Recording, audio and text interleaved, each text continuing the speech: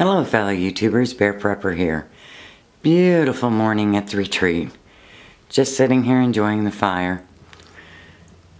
It's a little chilly, but fire takes the chill off a little bit. Alright, let's go down and see the chickens. Oh, there is, we're calling him Prancer. Because, let me zoom out, he walks really funny. And there is Lovey. And yesterday I got to watch Midnight lay her first egg.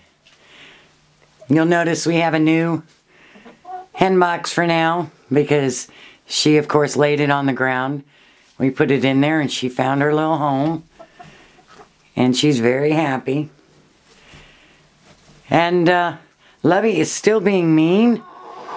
We let them out yesterday underneath, and she would not let these two back into the hen house.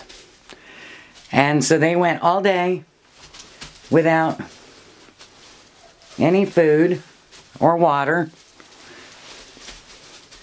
And uh, here you go, Lovey. And that was just not good. So, I don't know what we're going to do with Lovey. I guess we're going to leave them uh, cooped up a little longer. But they are doing wonderful.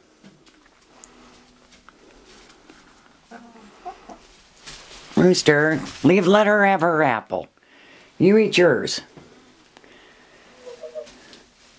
But they seem to be fine in the hen house. It's just when she got outside, she wouldn't let them back in. Any suggestions? Give me a holler.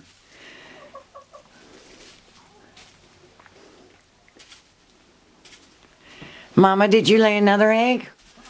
Or just the one? Just the one. See, her first egg.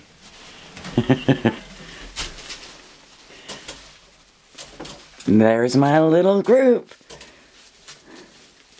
They're fun to watch. Watch him drink.